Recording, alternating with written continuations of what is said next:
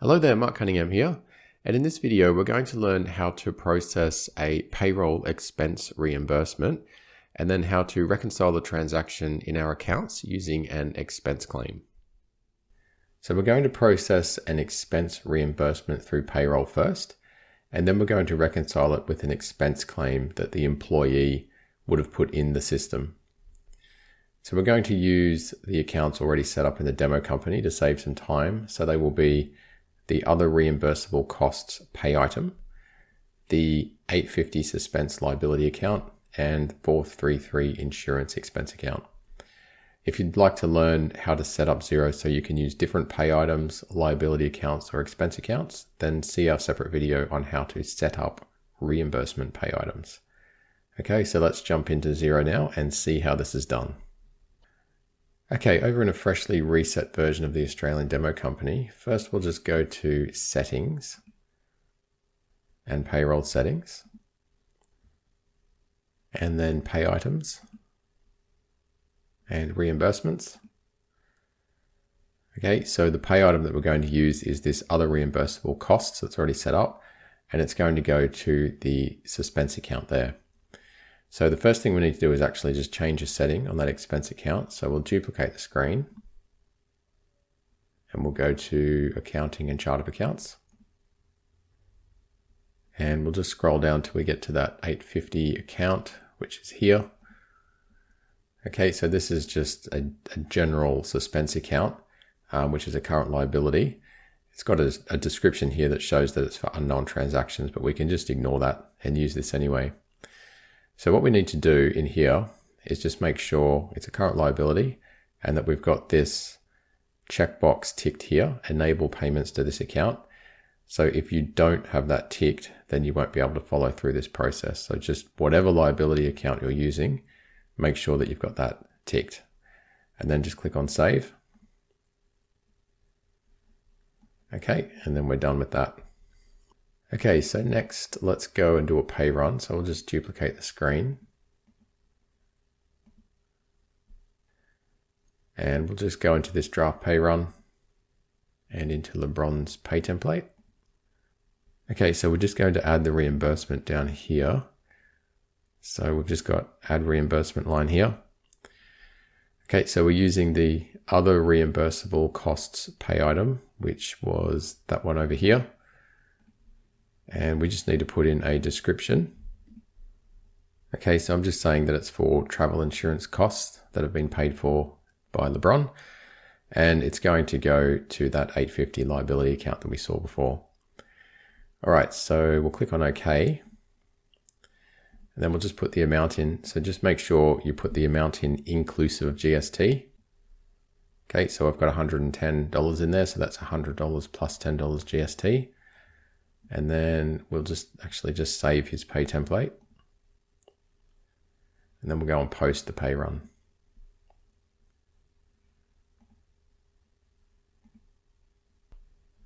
Okay, so that's posted. Let's now have a look at what happened. So if we go to the pay run journal,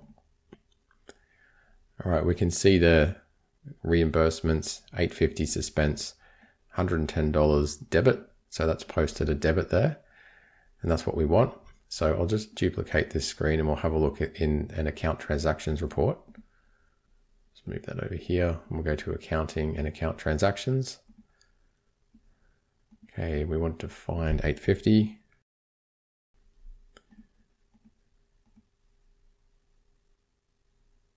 Okay, there it is there. Payroll expenses, reimbursements, 110 debit. We've also got this $50 credit here, but that's for something uh, different. That's for a deduction. So we can just ignore that. We're not looking at that in this lesson. Okay, so that's one side of the transaction done. So what we need to do now is do the other side of the transaction. So we're not actually paying for this expense through our normal bank account. We're paying LeBron back for it because he's already paid for it. So the way we're going to get the credit into here is LeBron's going to put in an expense claim and we're going to check that off as being paid. So what we'll do is we'll just duplicate the screen and we'll go into expense claims. Okay, and we're just going to put an expense claim in. So I'm going to do it here just as the admin, which you can do on behalf of your employees, or they can put the expense claims in um, themselves. Either way, it ends up in the system the same way. So we'll just go to new expense and expense claim. Okay, so we just need to put the amount in first. So that's the 110 there. Put in a description. Okay, so I've just said reimburse LeBron for travel insurance. Um, how did you pay? So we can just say personal money and where did they spend it? So just put down the name of the vendor um, that they spent the money at. Okay, so I've just made one up there, BlackRock Insurance. Put in the date, so I'll just assume that he spent it on the 1st of April. So for the account, we want to use the insurance expense account, which is that one. And this other stuff down here we don't need, so that's just for some tracking the region um, assigned to customer and label. Okay, so you got uh, 110 including tax down there. There you go. So once that's in, we can just um, either save it as a draft, submit it, or approve it. So we'll just go ahead and approve it.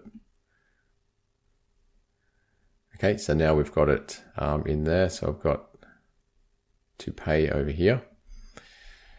All right, so what we can do now is we can actually just pay for this because technically we have already paid for it. We've paid for it through payroll. So we just need to basically mark it as paid. So let's just click on the pay button.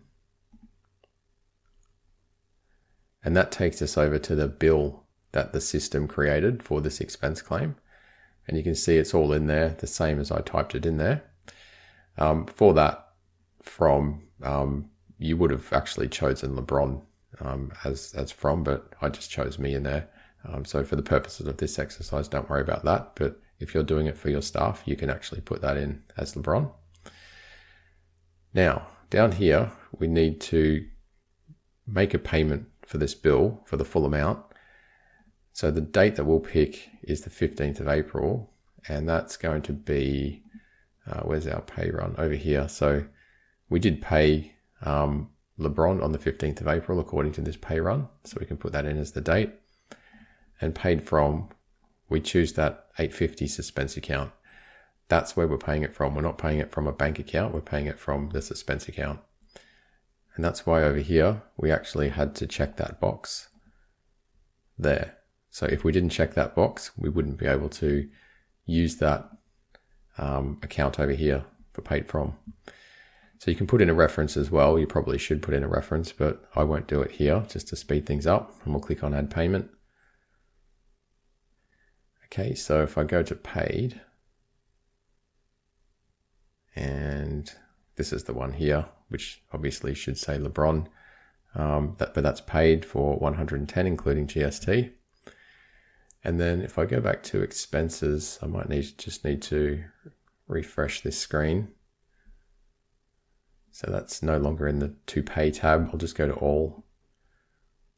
Okay, and we can see that there as being paid. So that's paid now. So now if I come over to account transactions and click on update, we can see that credit has come through now via expense claims. So we've got the credit 110, we've got the debit 110. So in our suspense liability account, this is now fully reconciled. Um, it's so if, if it wasn't for that $50 there, this balance would come back to nil. So that would be perfect.